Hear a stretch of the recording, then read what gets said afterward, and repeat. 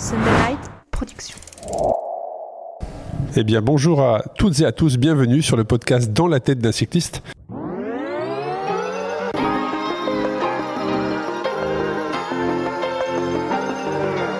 Bienvenue sur le podcast Dans la tête d'un cycliste, l'émission dédiée à tous les passionnés de vélo sous toutes ses formes. Chaque semaine, Arnaud Manzanini part à la rencontre de celles et ceux qui font le cyclisme pour nous inspirer et nous aider à nous améliorer en direct de, de Calpé aujourd'hui où on est présent pour la première édition du stage dans la tête d'un cycliste. Donc un, grand merci à l'assistance qui est là aujourd'hui.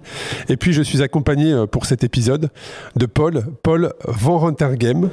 C'est ça. Est-ce que je l'ai bien dit? Parfait. Ouais, c'est bon, j'ai fini mon, défi du jour. Donc bah, bienvenue à toi, merci de te rendre disponible et de nous partager euh, tes astuces puisqu'aujourd'hui on va discuter d'un sujet euh, d'actualité parce que je crois que c'est la journée de demain en fait, c'est ça, c'est leur sujet de demain. Exactement. Voilà, et on va parler de la descente, c'est-à-dire comment, euh, comment appréhender, comment euh, descendre le mieux possible avec la bonne technique. Et comment travailler sa descente. Et comment travailler sa descente. Alors, il y a des fondamentaux pour ça. Euh, mais avant toute chose, comment se déroule le stage? Parce que vous êtes là depuis, depuis samedi, c'est ça Vendredi pour certains? Vendredi pour certains. Et on a déjà quatre belles journées de vélo dans les jambes. et écoute, ça se passe plutôt bien. Hein. Je pense que tout le monde a l'air plutôt content. Il y a une bonne ambiance. On travaille bien plutôt parfait. Et demain, c'est le sujet du jour. C'est demain, c'est journée récupération avec euh, des petits exercices de travail de technique de descente. Ouais. Alors, on va, on va en parler justement, comme ça on verra demain si, euh, si nos élèves ont, bien, ont bien écouté. Si ça applique, oui. Si ça applique correctement. Donc, c'est vrai qu'il y, a il y a quand même des fondamentaux. Hein, euh, les fondamentaux de, de, de la descente. Si, si, tu avais un conseil à donner, ou en tout cas mettre les piliers justement de, de ces fondamentaux, ça serait lesquels? Alors, déjà, j'ai une phrase que j'aime beaucoup répéter aux athlètes que j'entraîne c'est essayer d'être le plus fluide possible. Euh, avant de prendre de la vitesse, c'est important d'apprendre les fondamentaux justement et de pas mettre la charrue avant les bœufs. Donc euh, c'est important euh, de travailler à basse vitesse. C'est comme quand on apprend à courir, on court d'abord doucement avant d'aller vite. Ça dépend. je, sais courir vite, mais je m'arrête très souvent. L'erreur de base est de courir trop vite. Mais du coup, notre travail, nous, en tant qu'entraîneur, c'est de réussir à, à travailler à basse vitesse avant de pouvoir réussir à aller vite. Donc c'est ce que tu voulais partager. Donc c'est vrai que tu as les fameux fondamentaux. Il y a aussi, on va parler de la confiance ou la préparation mentale. On va parler également de la technique du virage. Ouais, la, position du corps, le freinage et la trajectoire qui sont vraiment les éléments euh, clés. Alors, on va, maîtriser. On va, on va, parler de, on va parler de tout ça. Et on va rentrer dans le sujet justement sur, euh, bah, il bah, y, y, a les fondamentaux, on en a parlé, et cette fameuse position. Donc, qu'est-ce que tu peux, voilà, quelles sont les techniques pour euh, bah, les personnes qui nous écoutent, mais aussi qui sont dans la salle et qui vont appliquer demain? Qu'est-ce qu'on peut dire autour de ça? Il y a trois grands principes. Euh, le plus important reste le regard, donc de porter le regard dans l'anticipation, de regarder où on veut aller et pas l'inverse, parce que c'est vraiment le regard qui va diriger le pilote. ensuite, au niveau position, vraiment, on a le, essayé d'être vraiment les mains dans le creux des, cocottes, euh, le creux du guidon, euh, un doigt euh, sur chaque levier de frein, et quand on est en frein à disque, qu'on a suffisamment de freinage pour avoir un seul doigt, et les, bras, les bras légèrement fléchis. Et ensuite, quand on maîtrise déjà ça, euh, on peut ensuite commencer à jouer avec ses pédales euh, et placer la pédale euh, qui est à l'intérieur du virage. Donc quand on prend un virage à gauche, la pédale de gauche, la placer en haut pour ajuster son centre de gravité. Mais tu parles de la, de la position des mains. Ça veut dire qu'une descente ne s'appréhende pas du tout euh, les mains en haut du guidon Alors pas du tout, euh, oui et non, parce que maintenant on voit Vanderpool qui gagne Milan-San Remo euh, en faisant une descente de folie avec les mains en haut. généralement c'est conseillé de descendre dans, le creux, des guidons, parce qu'on a un peu plus de stabilité, on, on peut mieux tenir son guidon en cas de vibration et on a un peu plus de, de, précision avec les doigts au niveau des leviers de frein. On va en parler justement de la, la, manière dont il faut freiner euh, pour, euh, pour appréhender un, virage. Ouais. Donc c'est vrai que tu l'as dit, les fondamentaux, c'est la position, le freinage, la trajectoire. Mhm. Euh, et, et, comment devrait-on positionner son corps lors d'une descente? Puisque je prends l'exemple de, de, de, la personne qui a remporté, je crois que c'est, euh, j'ai plus le nom en tête, le Slovène qui a remporté Milan-San Remo. Euh, oui. non, pas Roglic. j'ai plus non plus. Moric, voilà, qui avait justement fait monter une selle spécifique justement pour, modifier sa position. quel conseil tu peux donner sur la position du corps à adopter dans une descente? Est-ce qu'elle doit être très en avant, très en, très en arrière? Comment est-ce qu'on doit se positionner? Est-ce qu'on doit être assis sur sa selle, en équilibre sur ses pédales? Quand on commence euh, à, descendre, à apprendre à descendre, euh, l'idéal c'est vraiment d'être centré et ancré dans le creux de sa selle. Les fesses bien assises, les, bien, les bras bien dans le creux des cocottes, du guidon, pardon. Et, et d'être vraiment ancré sur son vélo. Ensuite, on va placer les pédales à l'intérieur du virage euh, en haut. Comme ça, on va, on va mettre un peu plus de pression sur, euh, sur la bande du pneu qui va adhérer. Et surtout, euh, porter le regard dans l'anticipation pour vraiment engager les épaules dans le sens de la, du virage. Tout ça, ça va faire que le vélo derrière va suivre et va s'incliner dans la bonne courbure. mais le, le plus important, c'est le, le, le, regard. Par contre, une fois qu'on veut vraiment gagner en vitesse et et, vraiment euh, attaquer très fort. Mais là, on parle de la caste des, des très très rapides. on effectivement, parle de Tom là. Ouais, par exemple, ou de, bah, de Mohoric ou de Vanderpool, ou de, là, euh, sur certains freinages qui sont réalisés hyper tard, hyper euh, brusquement et vraiment au dernier moment, euh, là, on essaie de mettre un peu les fesses en arrière pour charger un peu plus l'arrière et, aider le pneu arrière à freiner. Alors, je ne l'avais pas prévu dans, l'épisode, mais de ce que tu viens de me dire me fait penser à une question. Est-ce qu'il y a une manière d'appréhender une descente qui est différente si on est en frein à disque ou si on est en patin?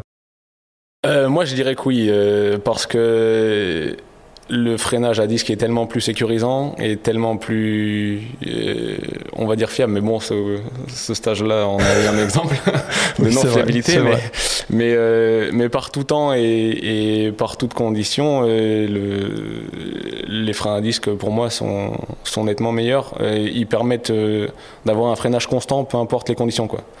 Je pense qu'avec les patins, euh, ça n'arrivait pas tout le temps. Est-ce qu'il y a encore des gens qui roulent à patins la... Il y en a quelques-uns. Ah, ah, il y a encore quand même des patins, effectivement. Ouais.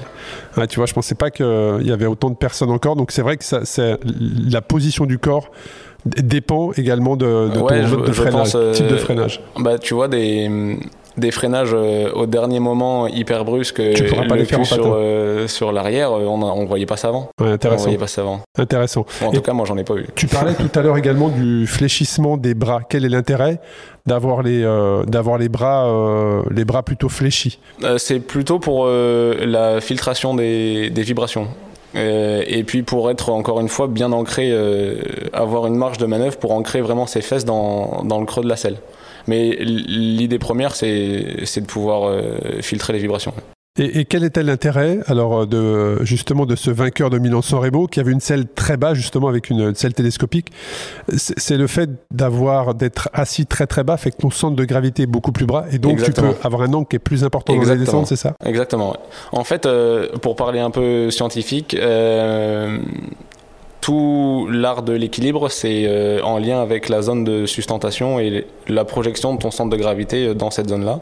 La zone de sustentation, c'est la zone euh, délimitée par tes points d'appui qui détermine ton équilibre à partir de, de, la projection de ton centre de gravité. Et l'idée, c'est de pouvoir incliner encore plus son vélo et de pouvoir quand même conserver ton centre de gravité dans cette zone, mais vraiment à la limite, c'est de l'optimisation absolue uniquement, euh, enfin pas uniquement euh, dans les courbes, mais parce que du coup, en étant un peu plus bas, euh, il a gagné un petit peu en aéro dans les lignes droites, mais ça s'est ça s'est vraiment joué dans la, sa capacité à conserver de la vitesse dans les courbes liées au fait qu'il soit plus bas.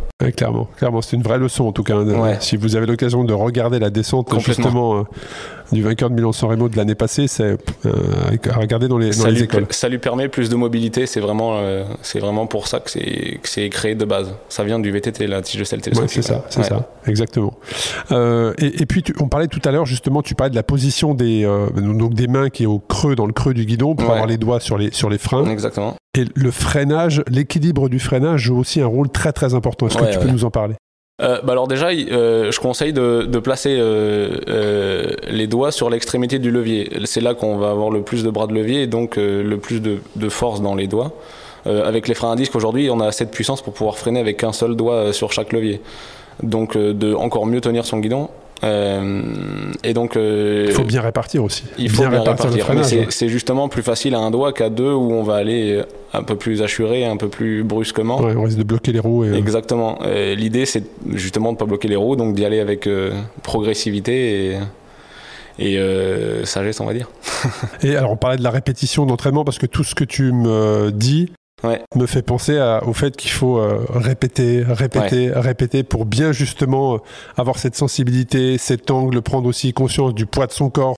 quand on le balance d'un côté ou d'un autre. Donc ça, c'est aussi important. Mais quels, sont si tu avais des conseils aussi à donner sur les précautions à prendre lorsqu'on approche un virage, quand on est en approche de virage, euh, si on veut le faire serrer, pas serrer, euh, quels conseils tu peux nous donner justement par rapport à, ça, la manière aussi de contrôler sa vitesse, freiner tard, être plutôt prudent, parce que on en a parlé juste la petite parenthèse, mais euh, avant d'enregistrer cet épisode, on a pris le repas tous ensemble et, et autour de la table, il y avait des sujets qui étaient l'appréhension de la vitesse, d'avoir d'avoir peur de tomber ou d'avoir vu une chute et de, de, sentir en fait, alors que c'est pas du tout le cas, mais ça roule, euh, ça roule complètement partir.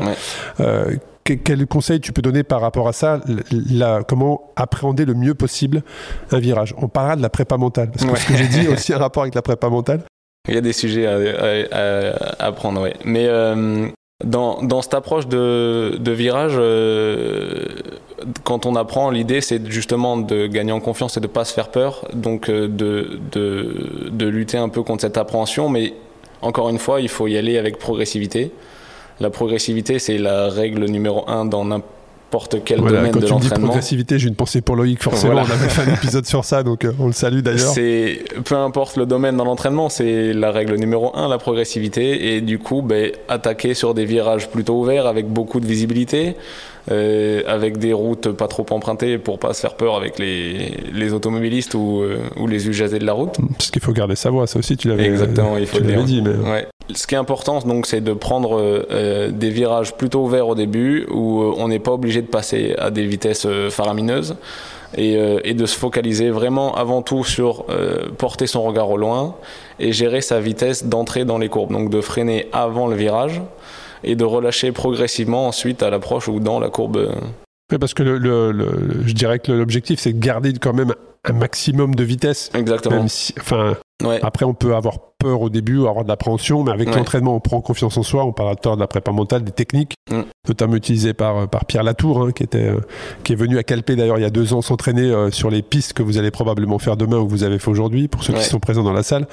Mais il y a toutes ces techniques-là, mais il faut aussi garder quand même un peu de vitesse pour avoir ces sensations Complètement, complètement. Mais c'est pour ça, euh, l'idéal reste toujours de freiner avant la courbe euh, pour pouvoir ensuite euh, prendre son, virage sans rajouter en plus la force du freinage qui vient vous pousser vers l'extérieur du virage. Alors quel est le risque d'avoir un, quel est le risque de prendre un virage serré? De glisser, de déraper, de perdre l'avant ou de perdre l'arrière. Mais D'avoir trop d'inclinaison en fait, c'est ça, pour prendre son virage Ouais, un virage trop, trop serré, à partir du moment où on va trop pencher, le, le, vélo risque de partir. L'angle sera trop, trop prononcé. Exactement. Et puis si, euh, si on arrive euh, dans un virage trop serré sans incliner le vélo, le risque c'est d'aller tout droit.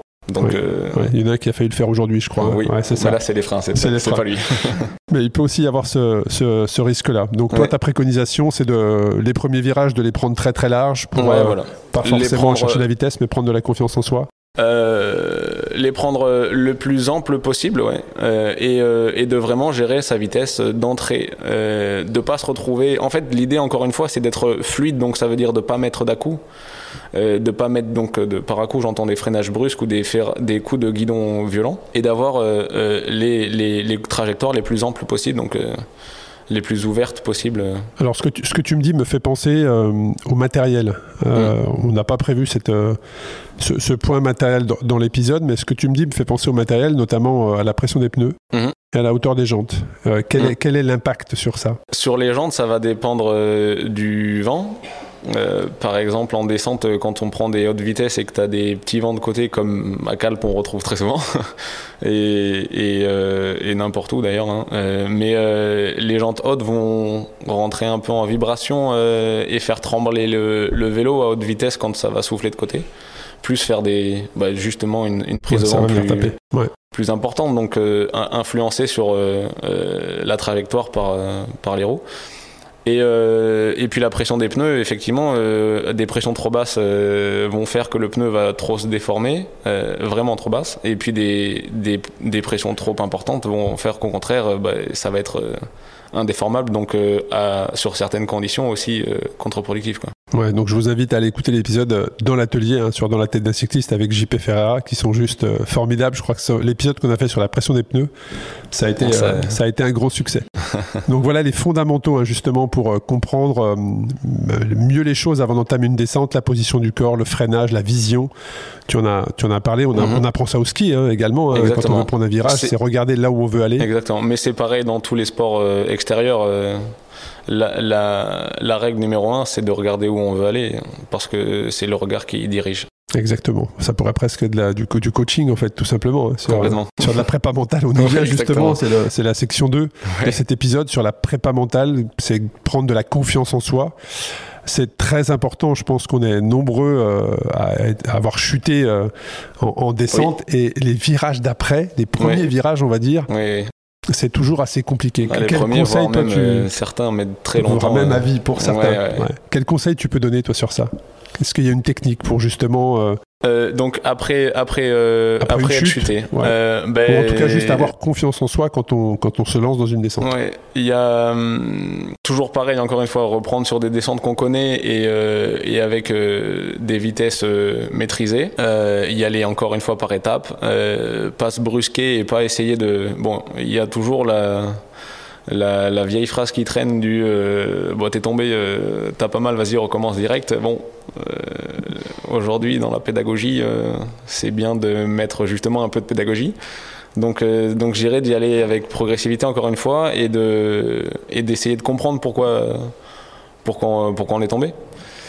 Ça peut ça peut te faire comprendre beaucoup de beaucoup de choses que tu ne maîtrisais pas forcément ou que ou que tu avais oublié d'essayer de de maîtriser. Est-ce que, la, est-ce que la visualisation, euh, tu parlais de répéter, euh, moi je pense au fait de connaître la descente que l'on, dans laquelle on va se lancer, est-ce que la, la visualisation euh, peut aider? Aujourd'hui, on le voit complètement. moi, je viens du monde du VTT et on, on, voit que en descente, par exemple, qui font des images magnifiques, les les athlètes travaillent en faisant beaucoup de reconnaissance. Euh, et, font des, exercices de visualisation ils connaissent la piste par cœur et ça leur permet d'atteindre euh, des vitesses folles parce qu'ils savent exactement où ils vont poser les roues et où ils connaissent euh, où, prendre les appuis et, quels virages vont arriver ou quelles difficultés vont arriver. Sur des compétitions ou des, objectifs qu'on peut reconnaître et qu'on connaît ou si vous connaissez le parcours, euh, ça peut être hyper intéressant justement de se remémoriser euh, pour être sûr, ben, pas être surpris en fait euh, une fois qu'on est sur le vélo, qu'on arrive sur la difficulté, le virage, la descente. Et aussi de prendre, prendre, des repères, pourquoi pas. Hein. Si on connaît bien la descente, ça peut être un panneau, ça peut être un commerce, ça peut exactement, être. Exactement, Il y a, sur, on a la chance en vélo d'avoir plein de repères possibles, des maisons, des panneaux, des arbres. Il faut éviter le caillou sur le bord de la chaussée, ça, peut, être, ça peut être compliqué. le marcheur aussi, ça marche pas bien. Euh, et, je voulais juste faire une parenthèse sur, euh, sur euh, le meilleur descendeur du peloton. Je pense que vous allez tous le citer. Et le, et le, et le plus mauvais, si on peut dire ça comme ça, même s'il nous écoute, hein, il ne nous en voudra, il nous en voudra pas. Mais, mais est-ce que tu sais comment justement ils ont réussi à, à surmonter ça et à performer? Euh, si je te parle du plus mauvais descendeur, enfin, je pense que vous, vous, avez tous une idée en tête si je vous dis le plus mauvais descendeur du peloton. Euh, sur le dernier Tour de France, tu veux dire? Ouais, ou de manière générale, il y a une grosse communication sur ça. Oui, mais euh, bah, je pense que justement, il y a quelques chutes qu'il a eu, qu'il a, eu du mal, oui, qu'il a, eu du mal à, qu'il a eu du mal à encaisser. Exactement, il y a eu une grosse chute, effectivement, euh, un gros blocage en 2019 sur le Tour d'Oman. Il chute, il se fracture le radius et le scaphoïde de la main gauche. Et à compter de ce moment-là, ses descentes n'ont plus du tout été les mêmes au point de se faire larguer dans les descentes par les échappés. Ouais, c'était assez fou. Euh, c'était assez fou de voir ça que même à ce niveau-là où les mecs sont quand même des as, parce qu'ici euh, Pierre Latour euh, dans ce groupe-là lâche 99% du groupe. Hein. et il se fait quand même déposer parce que il y a un niveau il y a un niveau monstrueux en descente hein, sur les courses force tour les, mecs sont quand même des as sur les vélos. Vitesses hein. qui sont, il des, vitesses folles. et, de voir en plus, hein, par exemple, tu parlais du meilleur descendeur, je pense que tu voulais parler de Tom Pitcock. Exactement. Alors, alors là, là, tu vois, sur Tom Pitcock, je suis un peu partagé. Parce que ah je ne sais pas si c'est de bien savoir descendre ou d'être inconscient. Tu vois, j'ai. Sur Pitcock, j'ai une. Euh, c'est très flou dans ma tête. Non, franchement, c'est un as. Parce que couper les virages comme il les là, je, me dis que le jour, le jour où il tombe, ça risque d'être très compliqué ah pour lui. Oui, non, ça c'est sûr. Mais, euh, mais là, il, se le permet parce qu'il le connaît qu'il l'a repéré et qu'il sait exactement où il y a une descente qui avait été filmée, c'est le Galibier, je crois. L'Alpe d'Huez, je crois que c'est, ouais. Ou l'Alpe d'Huez, ouais. Enfin, c'est, quand même. Euh, c'est monstrueux. C'est hyper risqué, quoi. Oui, oui, complètement, complètement. Mais euh, bon, je vais pas prêcher pour le VTT, mais il vient du VTT. Voilà. Ok, bon, bah, tu, ok, tu l'as dit. Alors c'est vrai que si, euh, si vous voulez regarder une descente de, de Pitcock, il a, il a filmé avec un, un YouTuber, hein, Safa Brian, une descente euh, en Californie sur YouTube. Vous pouvez la trouver, qui est très très beau. c'est, c'est, en plus c'est beau, c'est vrai. C'est très, limite artistique, tu vois. Comme ça a été filmé. Mais pour revenir à Pierre Latour, pour l'information, effectivement, donc il a eu cet accident et derrière, il, il a, il a témoigné à l'issue du Tour de France 2023. Euh, donc il est suivi psychologiquement pour essayer de trouver justement les, mhm. euh, les, bons remèdes euh, et les, bons, enfin le, je sais pas comment on peut dire, la bonne prépa mentale pour aborder les descentes. Mais en fait, il a la sensation quand il fait une descente que sa rose dérobe alors qu'elle se dérobe pas. Et à compter de ce moment-là, il a un vrai blocage et, tout s'enchaîne. Et en fait, c'est comme s'il était, enfin, c'est comme ses roues. C'est une histoire de crispation derrière. Après, il est, complètement crispé. Complètement. Il est même venu à Calpé, donc il y a deux ans, là où vous êtes aujourd'hui. Il est venu travailler pendant une semaine avec un préparateur mental en visionnant euh, par des, des, séances de six répétitions une descente pour essayer de bien comprendre euh, et d'essayer de, comprendre comment il devait relâcher ses bras, relâcher ses épaules. Je vous invite aussi à, lire ces témoignages, c'est hyper intéressant et ça fait le lien direct avec la, la préparation mentale. Donc, euh, bah, si vous nous écoutez et que vous êtes dans la salle pour votre séance de demain, bah, il y a une vraie concentration à avoir sur ne serait-ce que la première descente, c'est ben, comment sont mes bras? Est-ce qu'ils sont crispés? Est-ce qu'ils sont pas crispés? Comment sont mes épaules? Est-ce qu'elles sont crispées ou pas? Et d'essayer de bien analyser comment vous êtes au niveau du corps pour la descente suivante, bah, vous relâcher pour vraiment l'appréhender en toute confiance. Oui, ouais, complètement. Il y a une histoire de, de compréhension du, du soi dans l'environnement dans qu'on où on, on, pratique notre, notre sport. Donc essayer de comprendre comment on est posé sur son vélo, avoir du recul sur notre propre position, c'est important et c'est un travail qu'on peut très bien faire avec de la prépa mentale. Bon, donc euh, je vous invite à, travailler sur ce, sur ce point-là. Et puis, on va arriver sur la technique du virage. Ouais. Qu'est-ce que tu peux nous dire? Euh, donc, euh, comment découper le, la prise d'un virage? Bah, Encore une, du coup, je vais me répéter. Il y a vraiment deux, deux conseils primordiaux la gestion de la vitesse à l'entrée du virage. Donc là, c'est ton comment on, on gère son, son, freinage et le deuxième conseil le plus important, c'est regarder dans l'anticipation parce que ça détermine toute la position euh, du bonhomme et euh, du vélo ensuite dans la courbe.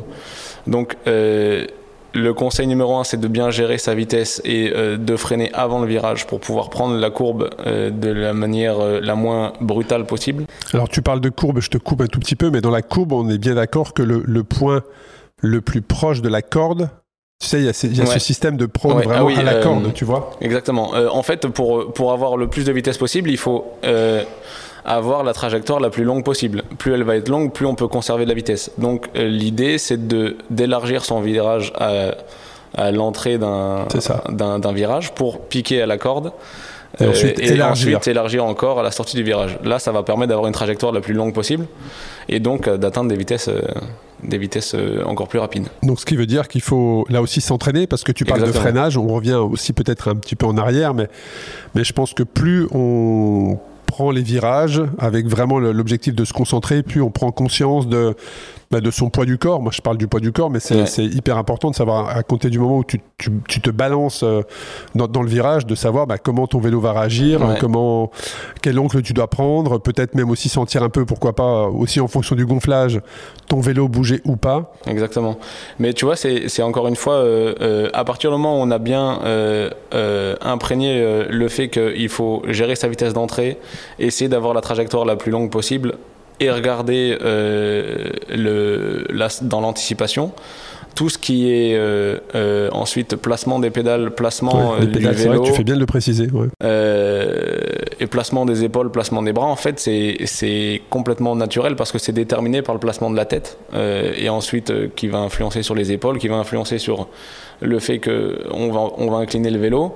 Euh, le regard, c'est vraiment euh, ce, qui, ce qui détermine et ce qui, et ce qui permet euh, un, bon, un bon placement du vélo derrière ensuite. Donc, Mais c'est vrai qu'on le sent quand on fait un virage qui est fluide. Exactement. On le sent naturellement. Le, ouais. le vélo, il fait un bruit spécial. C'est-à-dire Il fait un bruit où on sent. Tu peux nous faire le bruit le, je suis pas bruiteur. et, quelles sont, quelles seraient les erreurs que tu pourrais, les erreurs ah, à éviter C'est quoi C'est bloquer ses roues, c'est euh, freiner euh, trop tardivement. ouais, bloquer ses roues, avoir une trajectoire hyper brutale, hyper courte, hyper serrée. Euh, ben, placer euh, la pédale intérieure en bas. Là, vous touchez le bitume dès que vous allez incliner un peu le vélo et l'arrière va partir de suite. Hein. Et, euh, ou pas freiner du tout. si c'est une vraie épingle, maman, ça va poser problème aussi. Alors là, c'est vrai qu'on parle de technique de virage, mais on s'imagine, hein, on a un calpe, on imagine le soleil, mais sous la pluie, comment ça se passe? Ben, on a eu deux jours de pluie quand même. Ah, bon, ben voilà, aujourd'hui, donc veuillez m'excuser. ben, alors, toujours pareil, euh, sous, sous, temps de pluie, l'adhérence elle est, elle est moindre, donc euh, c'est la vitesse d'entrée devant euh, qu'il va falloir qu'il va falloir gérer. freiner un peu plus. l'angle peut-être aussi non? L'angle. l'angle oui, mais du coup avec une avec une, en fait euh, l'angle, un angle important, il est dangereux quand il y a une vraie, une vraie vitesse. Euh, D'ailleurs, c'est principalement de la roue avant que ça, ça part dans un virage, non? Euh, Quand c'est humide et que ça glisse, ouais, c'est plutôt la roue avant. Bon, ça arrive aussi de la roue arrière. Ça peut que ça soit l'arrière, effectivement. Ça arrive. C'est un peu dépendant du placement du corps, justement, mais. Mais du coup, oui, un peu plus de prudence et de mettre de l'angle, c'est pas forcément. il faut y aller à juste mesure, quoi. Donc forcément, ça va être déterminé par la vitesse d'entrée. Intéressant. Euh, et, et, si tu pouvais synthétiser justement le virage idéal, et ensuite on passera sur la section, euh, la section d'après qui est justement l'entraînement, la préparation. Mais le virage idéal, selon toi, c'est combien d'étapes? Tu vois, comme je sais que euh, demain ils ont justement, c'est ce qui est au programme à la descente, c'est qui, tu vois, qui, qui visualise cette nuit justement ces étapes-là. Mais s'il y avait vraiment le, le virage idéal, ça serait, il se composerait de quelle étape? Euh, du coup, euh, on arrive à une certaine vitesse, on voit le virage arriver, on anticipe son freinage avant l'entrée du, virage, on élargit euh, le plus possible à l'entrée du virage, on coupe à l'intérieur du virage en plein à l'intérieur du virage et on, on ressort à l'extérieur du virage. Tout ça en regardant toujours dans l'anticipation. Donc toujours regarder là où on veut aller. Ouais. Bon, bah voilà. Donc, vous savez ce que vous avez à faire pour, euh, travailler jusqu'à demain. Euh, mais juste, là aussi, je reviens un tout petit peu en arrière sur la prépa mentale. Je pense à la réalité virtuelle. Est-ce qu'aujourd'hui, les masques de réalité virtuelle peuvent aider à la ah, visualisation. Dans la visualisation, il y a des travaux qui sortent en ce moment et qui sont utilisés d'ailleurs par pas mal de, préparateurs mentaux. Euh, bah c'est. Euh... Je sais même pas d'ailleurs si ça existe. Hein, je pose ah, cette question. Ça existe euh, déjà. Je sais qu'ils l'utilisent en Formule 1. Je pense qu'ils l'utilisent aussi dans certains sports. Tu vois, je pense à, je pense à des coureurs du Tour. Euh, si la, descente est repérée, peut-être qu'ils pourraient la reconnaître comme ça. complètement. Après, je sais que la plupart reconnaissent vraiment toutes les descentes en roulant ils ont déjà parce que depuis quand même 4-5 euh, ans ça se joue aussi vraiment en descente hein. ah bah oui c'est ça en tout cas ça en fait partie c'est Nibali aussi je crois il y a une époque euh, qui faisait justement les cours qui gagnait ses, ses, qui gagnait ses étapes en, en, attaquant en descente. Dernièrement on a vu des, des, des mano à mano incroyables avec Vingegaard et Pogacar aussi euh à tout moment, ils, fait une erreur vont tellement vite en fait, ils vont tellement vite dans les ascensions que ça, se joue, dans les, que ça joue dans les descentes. Ils peuvent pas se lâcher en montée maintenant, oui. Et, on va arriver sur cette partie 4 de, du podcast justement, qui est la préparation, l'entraînement.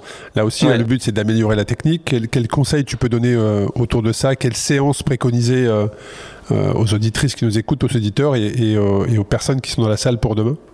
Euh, bah, du coup, euh, on a euh, des, on peut entraîner sa technique en descente avec plusieurs points. Du coup, bah, l'entraînement spécifique en descente, forcément, intégrer du renforcement musculaire et de la proprioception, de la préparation mentale et d'exercices de relaxation, respiration ou de pleine conscience, qui sont un peu liés à la préparation mentale. Mais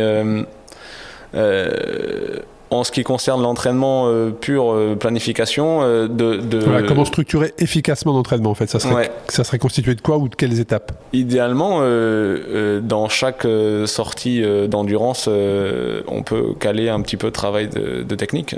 ça ne demande pas de vraie implication au niveau, au niveau puissance, au niveau au niveau intensité, juste ça demande de l'implication. Euh, il faut, pas, faut pas forcément aussi une descente de col, ça peut être une. Ça peut être un, seul virage. Quelques virages, ça peut être un seul virage.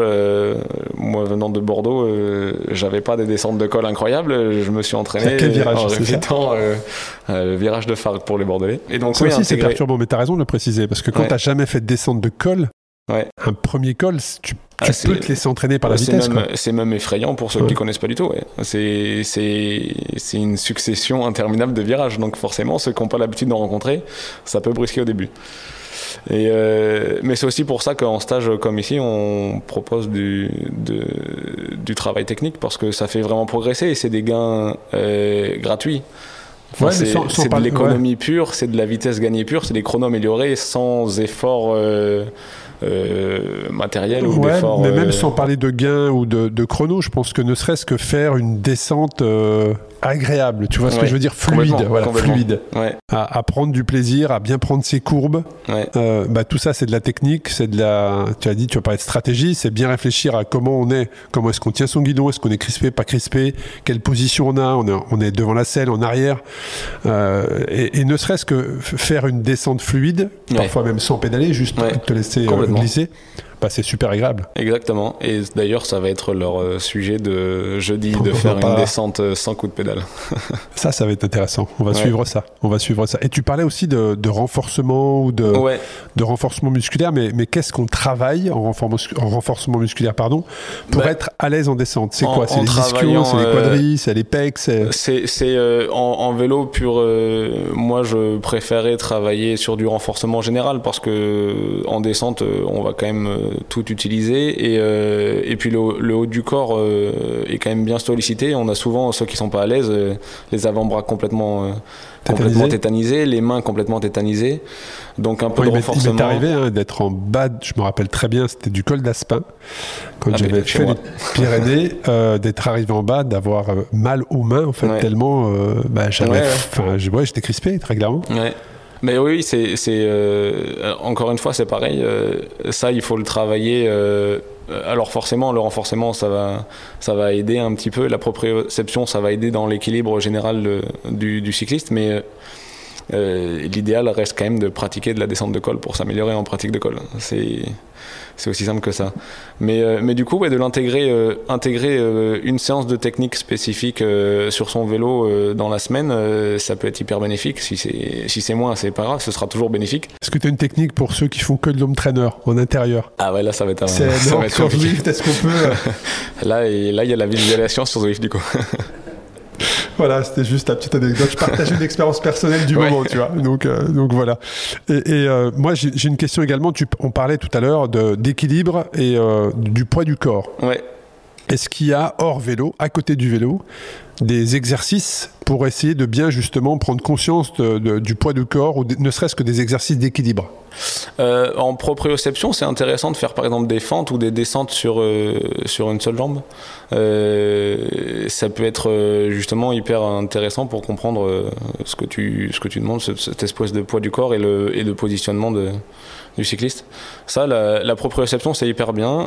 tout ce qui est gainage, forcément, renforcement euh, euh, dynamique, c'est hyper intéressant. Moi, je, prône plutôt vraiment un renforcement général euh, que de développer que mm. les quadriceps ou que les, le haut du corps. à poids du corps, on peut déjà beaucoup, beaucoup travailler et, et intégrer un peu de proprioception, c'est le top. Et à quel rythme tu préconises euh, à quel rythme bah, Ça va dépendre de, forcément de, du volume général d'entraînement. Euh, très sincèrement, quelqu'un qui s'entraîne que trois fois par semaine, je préfère qu'il aille faire du vélo euh, et qu'il travaille à vélo plutôt que que, que, de faire du renforcement musculaire. Quelqu'un qui, par contre, euh, s'entraîne déjà 5 euh, à 6 fois sur le vélo, euh, bon, ben là, on peut commencer à caler une ou deux séances de, de renforcement, voire plus, il a plus de temps. Mais... Et, la descente en elle-même, est-ce que tu préconises de le faire à chaque virage? Est-ce que tu préconises de vraiment se concentrer une fois par mois, une fois par semaine, une fois tous les trimestres? Est-ce que parce que ça nécessite une vraie concentration? Ouais. Euh, pour certains, de casser un peu leur moyenne, justement, si t'as qu'un virage à Bordeaux et t'as Bordeaux, bon, ben, ça veut dire que tu t'arrêtes après le virage, tu remontes, tu refais le virage. Donc là, ben, on casse sa moyenne. faut aussi prendre conscience de ça pour certains. Mais tu, préconises de, de, de le travailler comment? Le, ce qu'il faut préconiser en premier, c'est que la moyenne, on s'en fiche, déjà. Et euh, bah, idéalement, euh, de le faire vraiment au début, euh, toutes les séances d'endurance, même si c'est un peu lourd au début, c'est quelque chose qu'on va vite automatiser. Et plus vite c'est automatisé, plus vite on peut progresser à haute vitesse.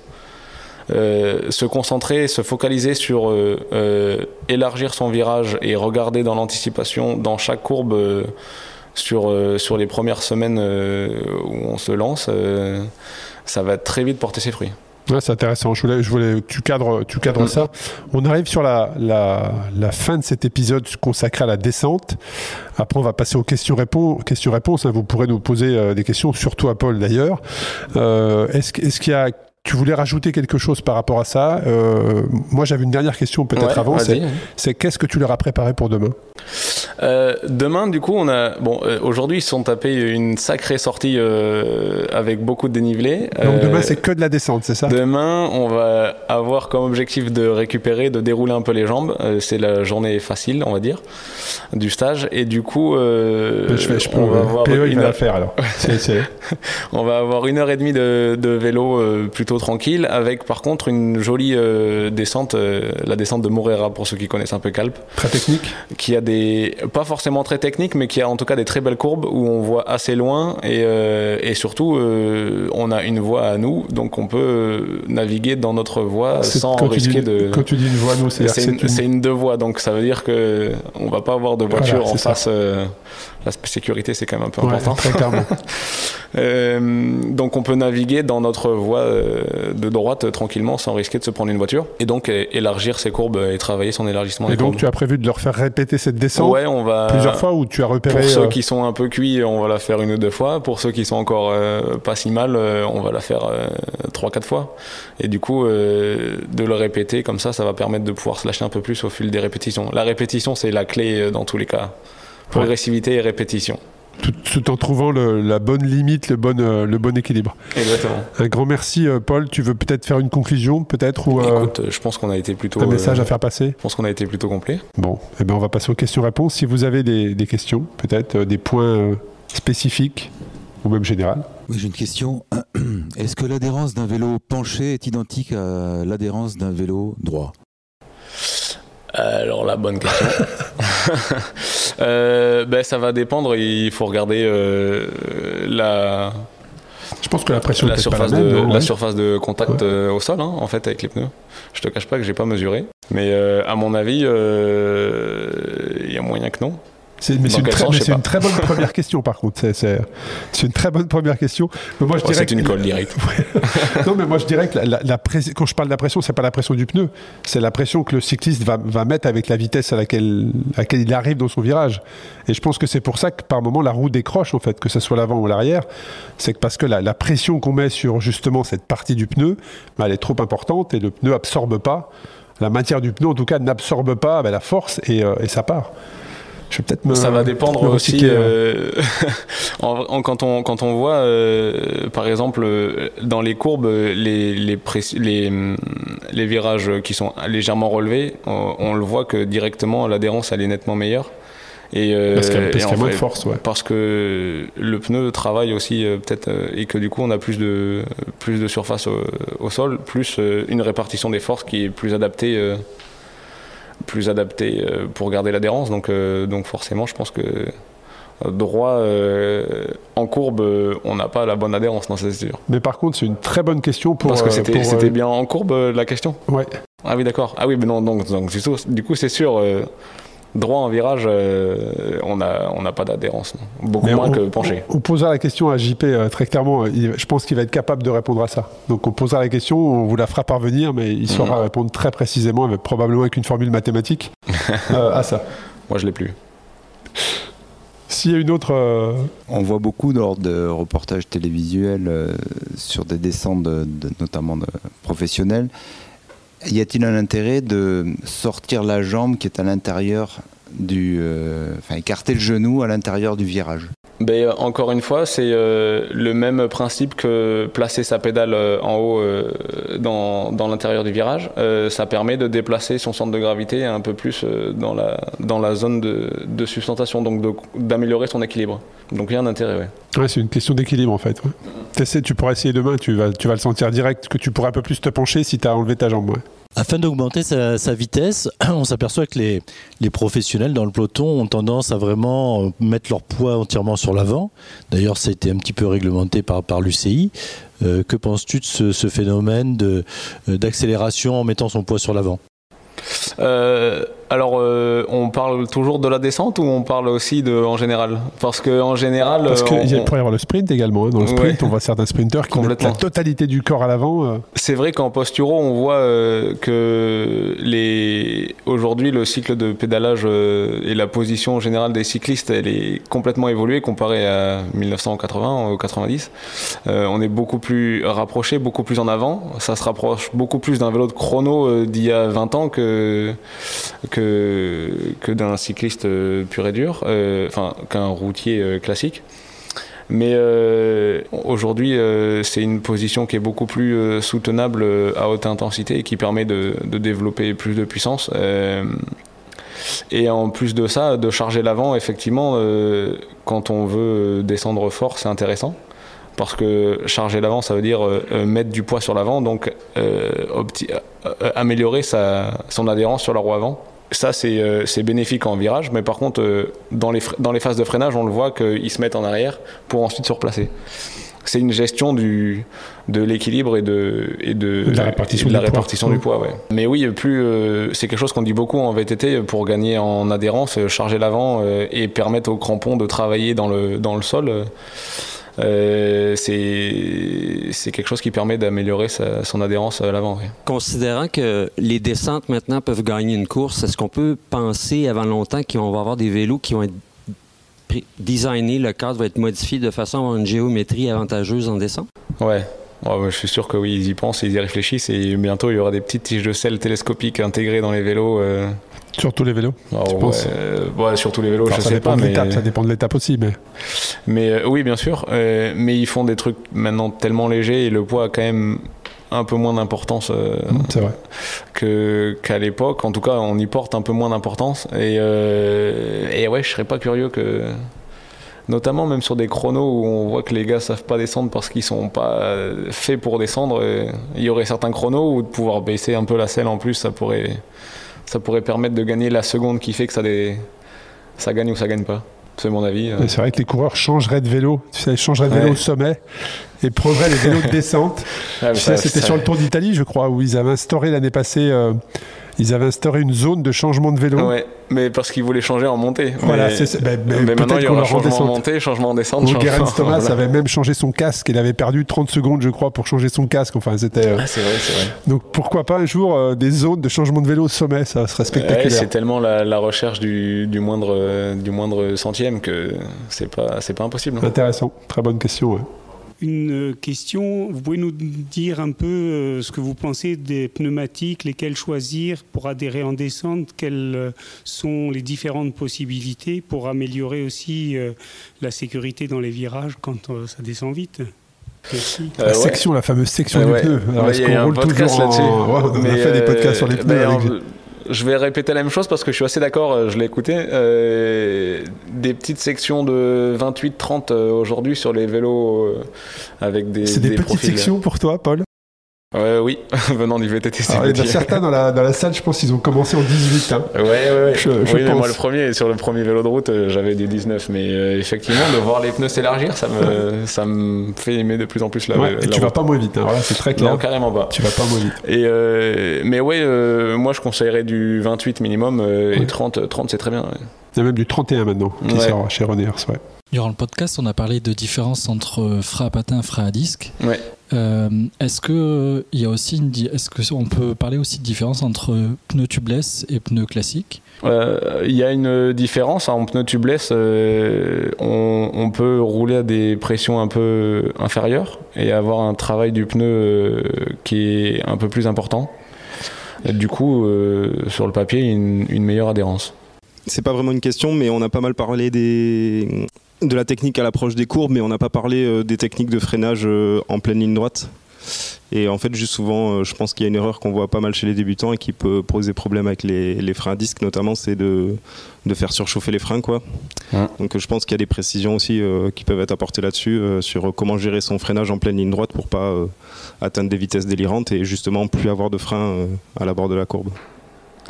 Ben ouais, essayer de, placer toujours, euh, de pas de pas se laisser emporter par le. Ouais, de dire de gérer sa vitesse en fait, de pas se laisser emporter en de disant de toute façon je peux pour pouvoir, au dernier moment. Pour pouvoir gérer, euh, il vaut mieux euh, une descente avec une vitesse constante bien maîtrisée qu'une vitesse où on va atteindre une, mm. une descente où on va atteindre une vitesse folle et puis bloquer complètement. Mais là, je pense que le, le, pic de la vitesse, il est vraiment propre à, à chacun. Je pense c'est vraiment la sensation. ça joue encore sur l'appréhension complètement complètement. Mais, euh, mais ouais, d'avoir des moments où on laisse les freins, euh, les freins refroidir un peu, c'est pas mal aussi.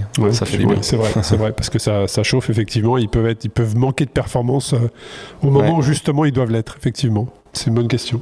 Je suis désolé, j'ai pas compris la réponse là à la, question précédente. Du coup, tu, tu préconises qu'on freine par saccade, par à-coup ou de manière continue dans une ligne droite justement euh, bah, euh, de mettre des grands à-coups, euh, je suis pas fan. Hein. Euh, de de, pas se laisser emporter dans les descentes, dans les grandes lignes droites, en mettant des légers, des légers coups de frein, c'est pas pas déconnant.